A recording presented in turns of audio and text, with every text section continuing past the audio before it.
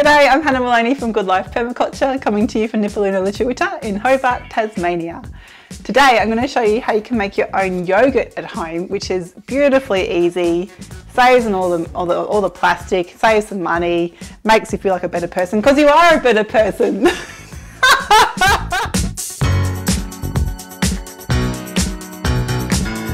so, all you need is some milk, and this, this recipe is based on using animal milk. So I happen to have two milking goats, Gertie and Jilly, um, but you don't have to have your own milking goats. You can get anything from the shop. It doesn't have to be organic. You can use pasteurised or homogenised milk as well.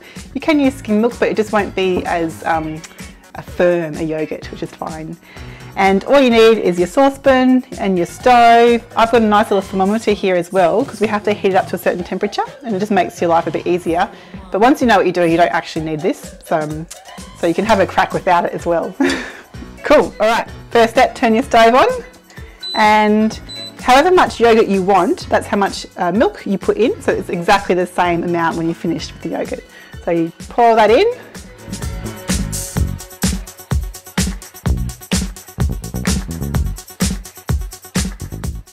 You just pop your thermometer in if you're using one and we're going to heat it up to just before boiling point which is around 80 degrees. Um, so you don't want to go over that, just, to, just that point and that's when we'll take it off the heat. So um, yeah, sit back, we'll make a cup of tea, come back later.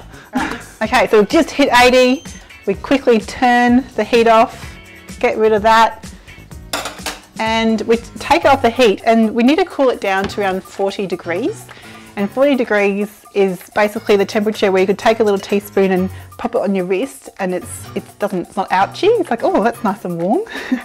Apparently someone once said to me it's the temperature that you'd happily feed to a little baby in a bottle. So nice and lukewarm. Um, so you can just let it sit there and let it cool down but I always forget that I'm doing it and get distracted. So um, I do something where I just pop it in a sink of cold water and it cools down within a few minutes and it means I don't go off and do something else.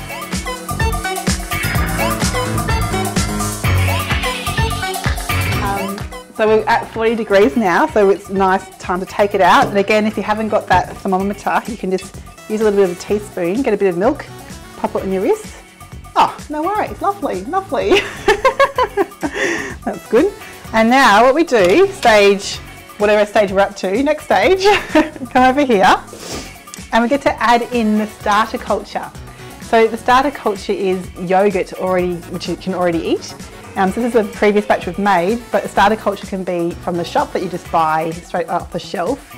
And the hot tip there is to turn it over and look at the ingredients and make sure it's got lots of funny long words, which are um, all the beneficial bacteria. I'll put them down on the screen for you to read um, the more beneficial bacteria, the better it is for you and your health. So that's the key aim there.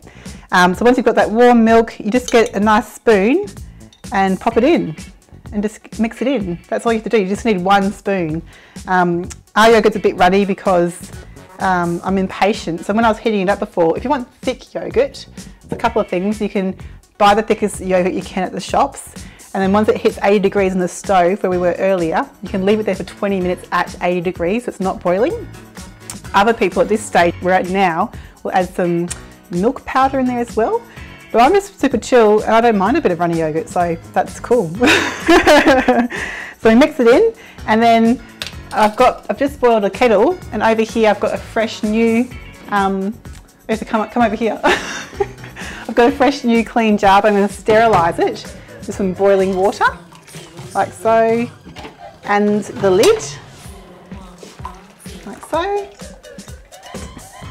And this is what I'll be pouring that warm milk into. And then you simply pour the milk in. Woo! it's a bit Great, so pop a lid on. We're to just clean that up a little bit. and now what we do, um, you put it in a what we call a hot box overnight or for 8 or 12 hours. Um, and you let it sit there overnight so in the morning you'll be ready to eat. And so a hot box is really simple. Come follow me.